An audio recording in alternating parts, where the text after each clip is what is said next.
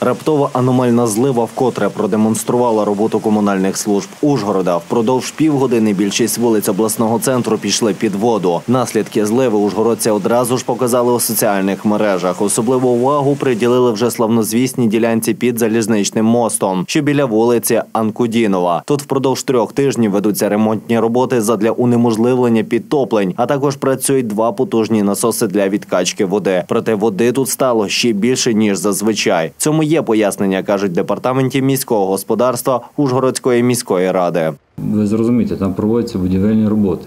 Зараз люди е, викладають бруківку. Вода прийшла, просто-напросто затопило.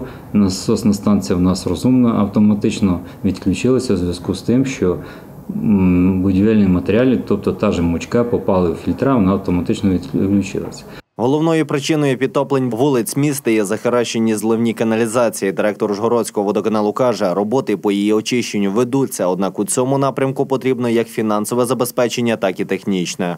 Ми постійно ставимо до відома, до відома нашу мерію і особисто мера, що є необхідність е, проводити роботи або замовляти е, сторонні організації, або підтримувати комунальні підприємства в плані придбання нової, нових, нових, нової техніки, необхідної для, для проведення цих, цих робіт.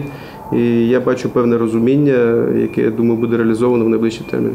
Остання спеціалізована техніка, яка може працювати на колекторах, була придбана, не придбана, а передана е, на підприємство в 2002 році. Дослідити стан каналізаційної мережі ще декілька років тому взялись громадські активісти. Результати дослідження підтвердили через застарілу мережу, яка впродовж останніх 30 років зазнавала тільки часткової реконструкції, і виникла така ситуація. З таким раптовими потоками води, як цього разу, каналізаційна мережа не може впоратись. Каналізаційна мережа використовується і для відводу стічних вод, дощових атмосферних опадів, і для відводу централізованого водопостачання.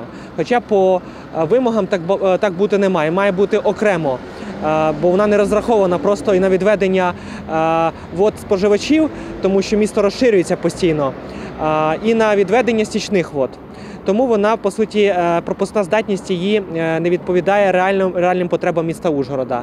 На щастя, для ужгородців раптове підтоплення так само раптово і зникло. Вже під вечір вода зійшла з вулиць міста. Щоправда, під згаданим залізничним мостом все ж воду відкачали комунальні служби. Будівельне сміття забило мережу, по якій відкачується вода, і з цієї причини насоси не спрацювали. Платникам податків Ужгорода так звана ліквідація підтоплень обійшлася 1 мільйон 100 тисяч гривень, і це не враховуючи вартість насосів. Чи виправдають себе вкладені кошти, покажуть вже найближчі дощі.